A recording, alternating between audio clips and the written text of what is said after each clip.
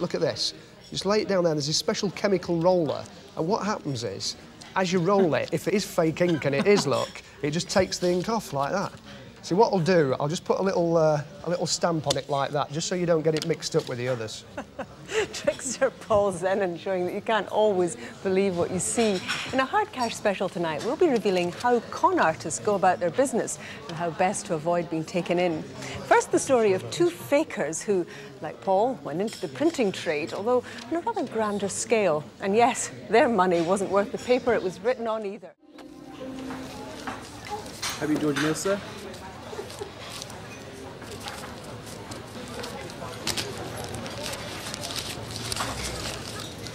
Keep the change. Thank you very much, sir. Now another man who seemed to have an endless supply of money. How do you do that? The Laird of Tomintown was a rather posh title used by an Englishman. Now, Diana, I'm going to get you to choose a card in a minute, and I don't want you saying they're all the same at the end. They are different, right? Now, I'm going to give you a little demonstration of a gambling technique when gamblers cheat. But first, right, choose a card by saying stop, and I'll let them go. Oh, that was quick. Happy with that one? Or do you want me to move on? huh? Take that card, have a look, and show the camera, but not me. I won't look. Done that? OK, stick it back on there. Now, I want you to cut the pack now. I'm not going to touch the cards till we do the actual trick, right? So cut the pack and complete the cut. Straighten them up. Now, what I'm going to do without looking is cut to your card, hopefully. This is what they do in Las Vegas if they're cheating. Right, OK. So now if I manage this, right, you owe me a fiver. But if I can't, I owe you a hundred. That's a fair deal. Hundred to fiver. Yes is the word you're looking for. All right, here we go. OK, and your card is... Hang on. There. No. Yes. Hundred pounds. No, yes, mate. You, you, Hundred pounds for me. You're serious? Yeah, it's not my card. Fair enough. All right, 100 quid it is. The only unfortunate thing is I haven't actually got any cash. But I have got credit cards. Do you take credit I take cards? Good. Because that should do nicely.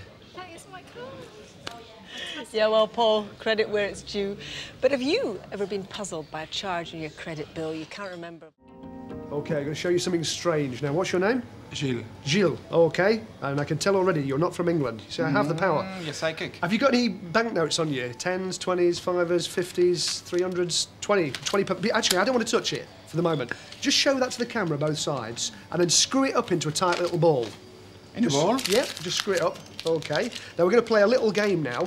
Okay. You want it? Yeah, because what we're going to do, I want you to think of your dream man. Now, what's your name? Just drop that into the glass there. Susie. Susie. Hold that up, Susie. Now, assuming that you weren't in love with Jill, right, which I know you are deeply, right, just assume, right, that you had a dream date. Two weeks on a desert island with some famous film star, celebrity, TV personality. Don't tell me who it is, because I'm going to try and make their autograph appear on his note. Watch this. You ready? Have a look at this. Now, let's see. Keep thinking your dream man.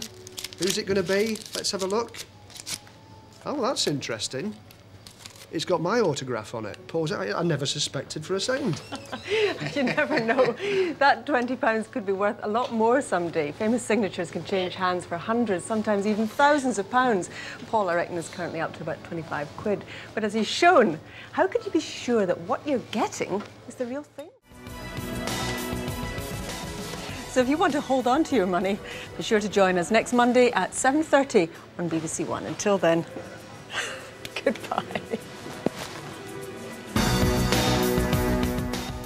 The police reckon they've got their man. EastEnders next tonight on BBC One and on BBC Two, University Challenge. Good. Because that should do nicely. Oh, that's interesting. It's got my autograph on it.